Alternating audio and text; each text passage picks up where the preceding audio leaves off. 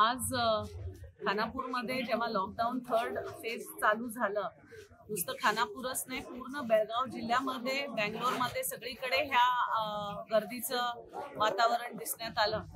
त्यामुळे जसं तिथे गर्दी झाली तिथे आज सर्व कापड कपड्याचे असू दे किंवा व्यापारी लोकांबरोबर आज अ, तहसीलदार सीपीआय ईओ ओ आणि दोन्ही पी एस आयना घेऊन एक चर्चा सत्र केलं आणि त्याच्यावरनं काही एका निदर्शनाला आपण इथे आलेलो आहोत.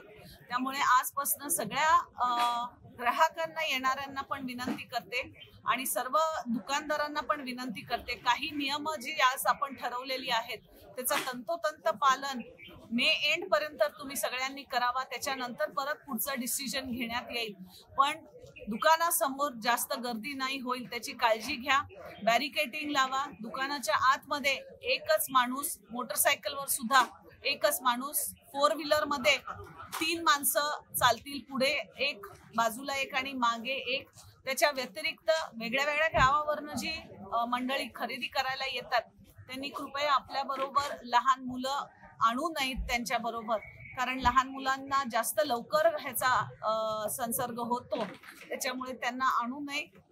अशा पद्धतीने आजपर्यंत खानापूर तालुक्यामध्ये आपण करोना मुक्त ठेवण्यासाठी तुमच्या सर्वांच्या सहकार्याने तालुका आढळीत सगळ्या अधिकाऱ्यांच्या आणि मेहनतीने आपण सगळ्यांनी कंट्रोल आणलेला आहे. पण इथनं पुढे सुद्धा येणारे हे दोन तीन महिने सुद्धा अं, काळ रात्र असल्यासारखी आहे. त्यामुळे इथनं पुढे सुद्धा तुम्हा सर्वांचं सहकार्य आम्हाला पाहिजे ही एक तुम्हा सगळ्यांना विनंती करते.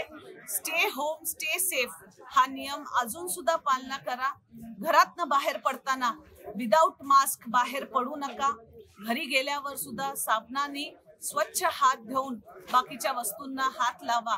हे थोडेफार असे हे ज्या गोष्टी आहेत त्या पालन केल्या तर मला खात्री आहे खानापूर जनतेला काही सुद्धा या करोना व्हायरसचा त्रास होणार नाही. हे नियम तुम्ही पाळताल ही इच्छा बाळगून ही एक तुम्हा सर्वांना विनंती करते आणि माझी तुमच्याकडनं तेच रजा घेते. धन्यवाद. जय हिंद जय खानापूर.